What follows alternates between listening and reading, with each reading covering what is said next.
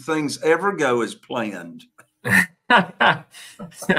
That's uh, it, you know, we, we laugh and it sounds like a joke, but it but it's not. It's not a joke. Obviously, we plan based on our experience and what we feel and think it's going to happen. But you need to be prepared for for reality. It's uh, it's it's usually close to what you you know what you uh, plan, but um, but if it's going exactly as planned, I think I think it's I would get more worried.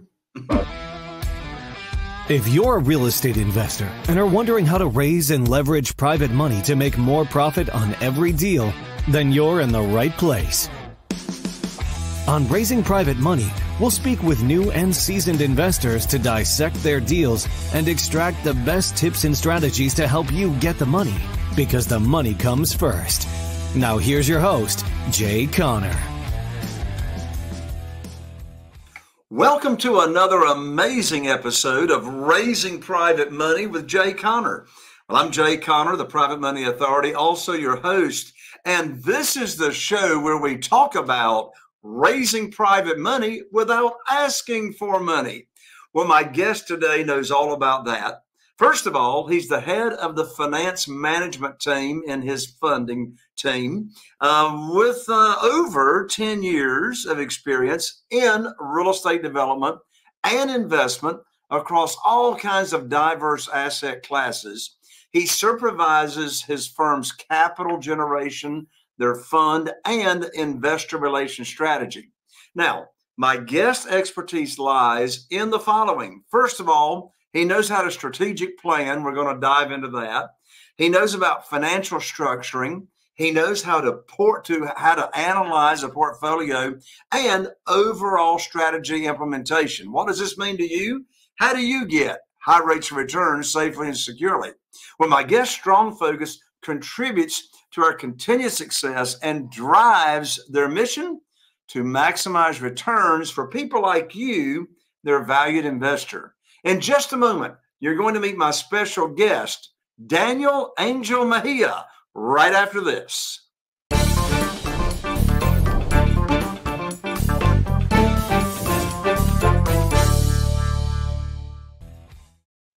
Well, hello, Daniel, and welcome to the show. Hey, Jay, how are you? Thanks for having me. I am doing fantastic. How are things in Atlanta, Georgia today? Doing uh, doing great. Sunny day. Starting to feel the the fall season coming in. awesome.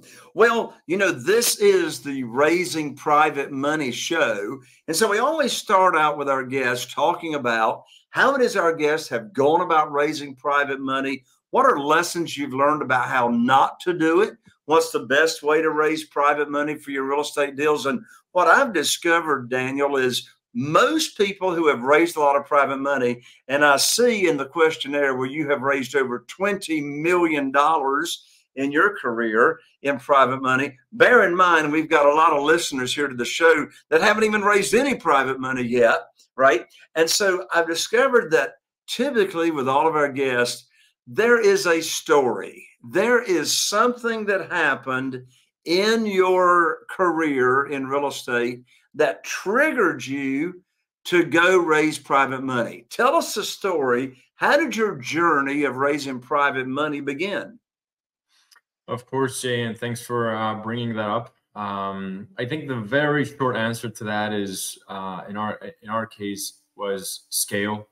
Uh, but it all started um, when when I started uh, flipping homes, single family homes with with my own equity um, you know, and as I had a corporate job, so this was more like a side gig, as they say.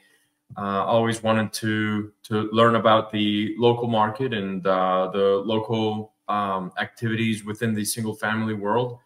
And you know, one house brought another one, and two and three, and until I ran out of my own equity. But uh, the business seemed to be going pretty well, and the as you mentioned, the need of going out and raising some equity um, came in. At the time, it was more a friends and family approach, uh, but at the end of the day, it was uh, to, I guess, keep supporting that initial thesis uh, and uh, proving that concept of how that flipping uh, house business um, started. uh, with with some equity from third parties. So you were using your own equity, you were using your own um, leverage, your own investment capital. Was there a stage in your investment journey to where you went to a traditional bank to borrow money and for some reason you didn't and then you moved over to private money or were the commercial banks ever involved in your journey okay uh, yeah and, and, thanks for bringing that up obviously yeah uh, i guess thanks to my corporate career and my experience uh, i had been structuring larger deals in other investment funds as you know part of my job uh, back in Colombia when I used to work for a couple of uh, investment uh, funds. So I knew how to stack a deal, if you know, per se. Um, so in that in that regard, uh, even at in my early stages, I I did go to uh, local banks who clearly and quickly said not interested, and then uh, fast enough I um, got into the private money for you know for the loan portion of each one of, of these deals even at early stages uh, to try to i guess make efficient those structures even in in that single family world. Uh, so it was pretty early on when i when i started using uh, private private private money as uh, commercial loans so when you started raising private money what is a lesson or some lessons that you've learned uh, over the years what are some of your favorite ways to raise the private money and how to go about it? Yeah, of course. I, I think um, there's, I would break that into two spaces like a, you know, the, the, the debt or the loan portion is, um, as, as we say now at Apex, you know, that that's our, our, our main partners or lender. Um, that's a little bit easier to to make work just because they're used to it. And as long as you have a proper underwriting it'll usually flow pretty well. The equity portion is where where it's a little bit more tricky and a little bit more challenging at, at least in our experience and based on what we've um, you know shared with other colleagues in the industry. But one of the main things is just making sure you have a proper underwriting stay true to your numbers um, and then second, I think it's just making sure that um, you can build that track record as you go. So, as you have been going down your journey of raising private money for your different projects, um, what's a lesson you've learned as to how not to raise it?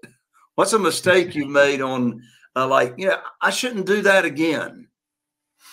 Um, getting too excited with the deal uh, and and just uh, stretching the numbers, uh, you know, too much.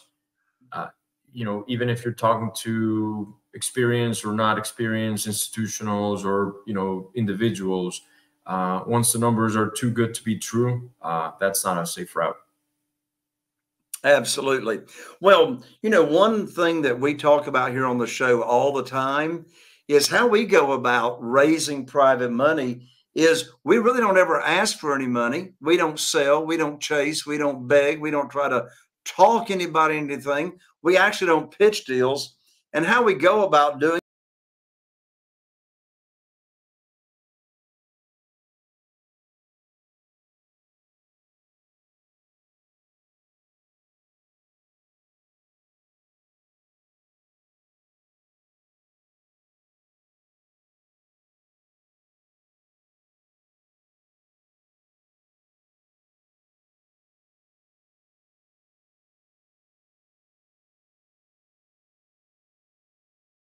running out of time and you got a deadline.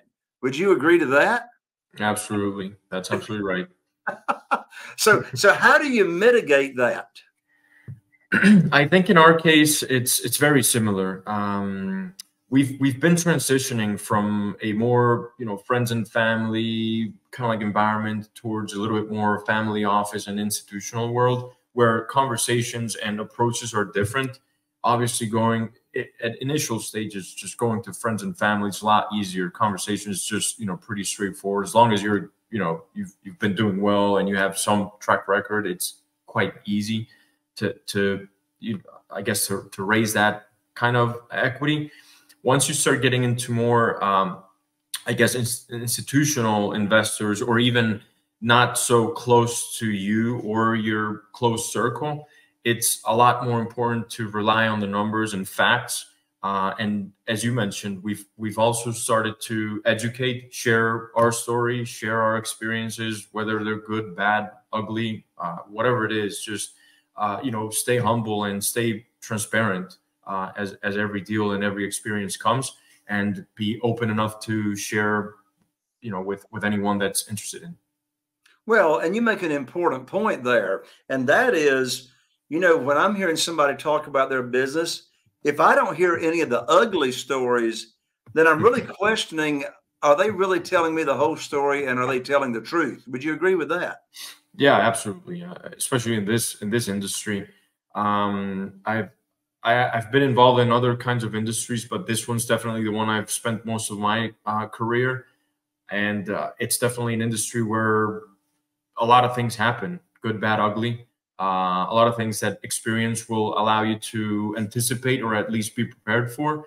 But you know as you mentioned like if if there's a story where there's no where there's no negatives then it's probably not a, not a true story.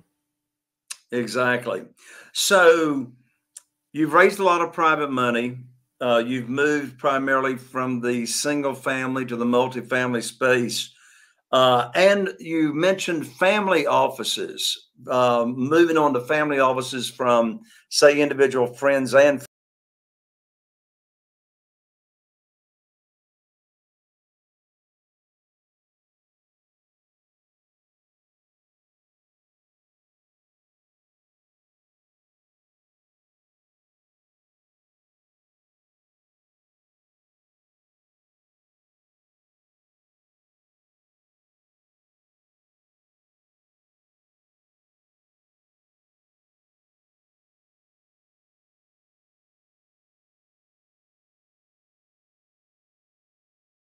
because there's no close uh, community starting off. It's something you need to build from scratch. At least it's been our experience. Um, speaking about family offices, uh, it's you know it's usually either uh, a equity or wealth from a family, as its name says, managed by or a, either a professional group or someone from the family, and they're usually uh, looking for certain types of investments, usually in in I guess um, trying to diversify whatever their uh, portfolio is. Um, in some instances, there's uh, groups that manage multiple, uh, I guess, um, equities for multiple families. So that, that those are called or named multi-family offices and in our experience it's been more like uh, attending events or just networking uh, and, and, and building those relationships from scratch once again just because it's it's usually a lot of um, relationship driven and trust in into these relationships until they're they, they feel comfortable enough to pull the trigger in a in a deal with you. Absolutely. Well um, you have got a fund, and the name of your company is Apex Investments. Uh, .us. In fact, I want to go ahead and put that URL out to everybody. Uh, www.apex, A-P-E-X, in apexinvestments.us. So tell us about apexinvestments.us. What's that all about? Of course, and, and thanks, Dave, for bringing that up and uh, for sharing our, our website. Um, I guess Apex today is a platform uh, where we structure acquisitions, multifamily acquisitions. We're mainly focused in multifamily. We're based in Atlanta. Uh, and so far, all our investments have been here uh, in Metro Atlanta. We like to be, you know, uh, boots on the ground, close to the asset. Uh, you know, wherever we go, we, we we like to understand, know the market, and and, and be as close as possible to to the asset. Um, and what we're you know looking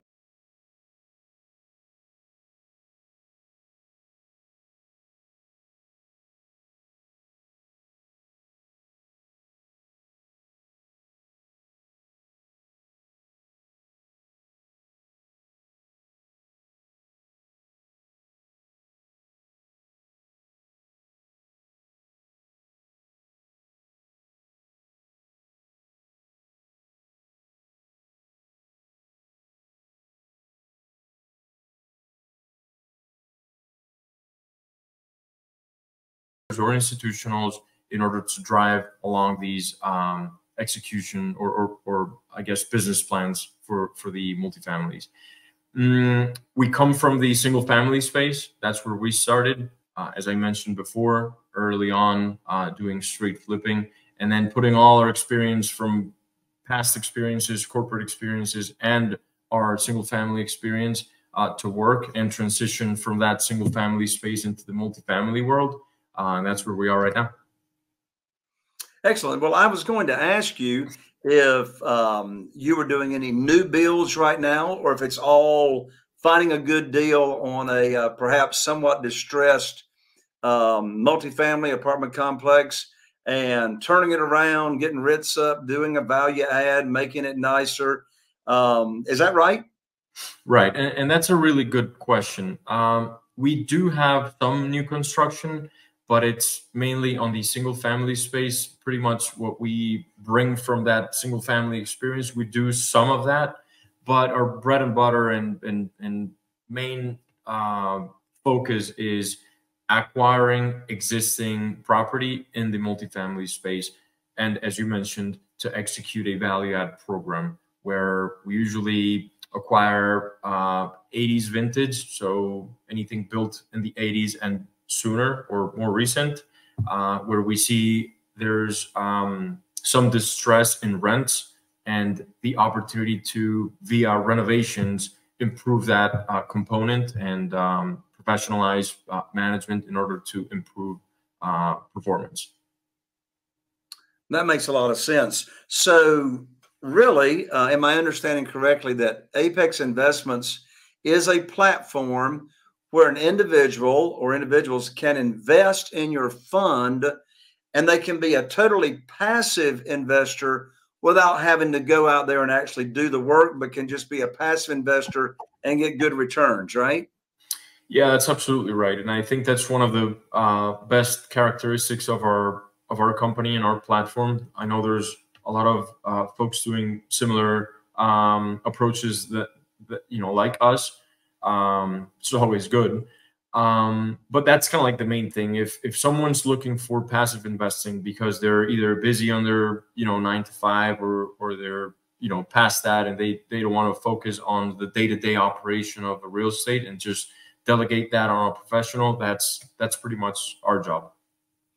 So, what would you say Apex Investments' um, unique proposition is? In other words, uh, what is it about your fund that might get an investor interested over and beyond, say, somebody else's fund? Of course, and that's that's uh, that's very important. Um, I think there's a few a few important traits there. One being we're vertically integrated, uh, so even at early stages, we've managed to have everything except property management in house. So sourcing deals, underwriting, capital markets, uh, asset management, and project management. When I say project management specifically, is like the construction itself. We have our own uh, project management team and, and uh, renovation team uh, so we have a lot more control of what we're doing. We are uh, operating uh, and, and acquiring in our own city, in our own town. So we're close to the asset. We're not out of state managers, which we found being very important, uh, especially when things don't go as planned. Uh, and obviously, today's market is one of those where where you really need to be really specific on management. hey, Daniel, think, I was going to ask, do things ever go as planned? That's uh, it, you know, we, we laugh and it sounds like a joke, but it but it's not. It's not a joke. Obviously, we plan based on our experience and what we feel and think it's going to happen. But you need to be prepared for for reality. It's uh, it's it's usually close to what you you know what you uh, plan, but um, but if it's going exactly as planned, I think I think it's I would get more worried about that. exactly. Well, you know, and in my space, we talk about Murphy, and I know you know who yeah. Murphy is, and Murphy has his cousins and his relatives show up as well. But you know, in our single family house deals, Murphy always shows up. But that brings up a good point. based on your um, underwriting and your criteria on how you buy and how you do the numbers, we keep it super conservative to allow for Murphy, the unexpected, to show up, right? Yeah, exactly, and I and I think that's uh, you know understanding that Murphy is not only him, but he's he's got a pretty big family. Uh, I think that's that's pretty important. Just just making sure you're you're conservative. You're not too conservative so that you can actually do deals, but but just making sure you're not getting you know ahead of yourself and, and understanding you know the, the market. Um, for example, right now, like whoever whoever underwrites, at least that's our opinion. Whoever underwrites, you know, uh, high rent growth, even on primary markets, you know, it's going to be tough for the next, you know, probably year or so. Uh, so just just keeping it keeping it true and not and not stretching the numbers too much. That's always going to keep uh, your sleep. Yeah, for sure. So when someone is investing uh, passively in apexinvestments.us, typically how long would they be looking to invest? Yeah, of course. So, so right now, uh, we're in the multifamily space. We're still doing it uh, deal by deal. Uh, we haven't officially launched a fund for multifamily. That's something we used to do in, in single family. Uh, so eh, for multifamily, we're uh, structuring a five to seven uh, year hold usually. All right, that makes sense. And do your investors have the ability uh, or the option to use not only just liquid investment capital, but can they also invest uh, retirement funds if they have moved those over to, say, a self-directed IRA company? Yes, absolutely. That's that's allowed and perfectly, uh, you know, used. We have a, a bunch of investors who use it that way. Uh, whoever has it in has their retirement funds in a uh, self-directed IRA, uh, you know, it's it's perfectly fine. Sure. What's your minimum investment for the passive investor? A hundred thousand is what we usually have. Okay. I was going to ask you, and sort of that sort of starts the conversation. How would you describe your ideal client or what your average client looks like that is investing with you? Right. Um, you know, like we we found to have like some kind of avatar, and it's usually that uh, you know, very busy professional, successful, um, uh, in, in our world, accredited investor. Uh, as you know, uh, whoever has a net worth more than a million dollars is what, what usually the threshold kind of like dictates. Uh, but it's usually someone who wants to have some kind of exposure, even someone or a family that wants to have some kind of exposure in real estate, uh, but doesn't have the time or the or or is not willing to to deal with the day to day operation of, of such. Yeah, that makes sense. Where would you say Apex Investments and your company is headed? And what's your crystal ball say about the real estate market over the next year or two? the crystal ball, I think it's uh, you know nobody's had it, and I think this is the toughest time to try to have it. But uh, but you know we, we stay bullish on the market. Uh, I think we're on an, an a, a pretty good asset class given it's residential. You know the residential gaps there it'll be there for quite a while. Uh, even with all these deliveries that we're having in the southeast uh, there's a lot of demand. There's a lot of uh, you know new residents moving in into the southeast in general. Um, so like these past 12 to 18 months have been a little bit rougher just because there's that dislocation between sellers expectations and what what actually uh, buyers are able to to make numbers work given higher interest rates. But you know, we, we believe in the next 12 months it's something that should start correcting and and we should have a pretty interesting uh another probably ride for, for another few years. Gotcha. All right. Are you ready for our lightning round of questions, Daniel? of course. of course you are. So here we go. You're going to know the answers to these. First lightning round question. If you could be known for just one thing, what would Daniel be known for? Uh, being passionate and result driven. Passionate and result driven. Love it. Um, what personal characteristic do you have that you would say has been pivotal to your success? Um, I'm I'm I'm a problem solver and uh, and persistent. Got it. And we, we um, found that to be pretty pretty interesting along the way because you and, and, you mentioned it. You, you, need to be ready to pivot in this industry. Absolutely. Um, are you a reader? Do you enjoy reading books? I don't mean fiction. I, I mean nonfiction. I, I do. Yeah. All right. Well, if you could only choose one book that had the biggest impact on your life, what is it? Uh, the most recent would be uh, Who Not How. Yes. Yes. Yep. Dr. Benjamin Hardy. Yes, sir. Excellent. Yeah, I like his new book uh, that he just came out with a few months ago. Um, so here, uh, let's do something really fun, uh, Daniel. So I got a stack of cards here, right? So this is sort of like playing cards. I won't do a card trick on you, but anyway, you just tell me. You just tell me when to stop.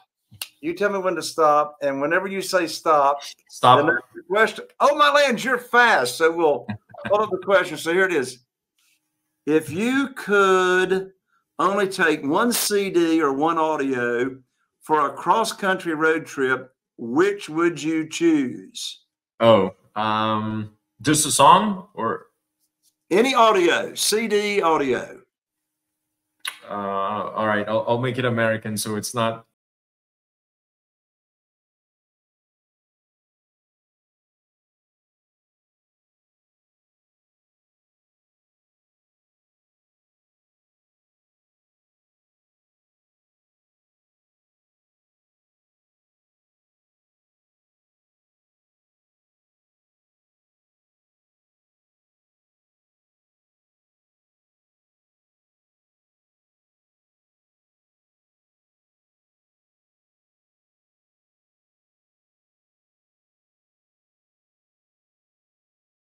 an entertaining and very knowledgeable guest. I appreciate you coming on, and I'm going to give you the final words. Jay, thank you so much for for having me. It's been a pleasure to meet you and to share with your audience too. Thanks for everyone uh, for listening. And uh, if you guys are interested in learning more about Apex or anything that we can help on regarding uh, multifamily, please uh, visit our website www.apexinvestments.us or just feel free to reach out um, either my my LinkedIn or my email, theangel at apexinvestments.us. Awesome. And in the show notes, we'll have all these links uh, for your contact information as well, Daniel. There you have it, my friend. Another amazing episode of Raising Private Money. I'm Jay Conner, the Private Money Authority, your host here on the show. And be sure and subscribe and ring that bell if you're watching on YouTube. If you happen to be listening on iTunes or Spotify, be sure and follow. Here's to taking your business to the next level. And we look forward to seeing you right here on the next episode of Raising Private Money. Are you feeling inspired by the knowledge you gained in this episode? Then head over to jconner.com slash money guide. That's J-C-O-N-N-E-R dot com slash money guide and download your free guide that shares seven reasons why private money will skyrocket your real estate investing business right now. Again, that's jconner.com slash money guide to get your free guide. We'll see you next time on Raising Private Money with Jay Conner.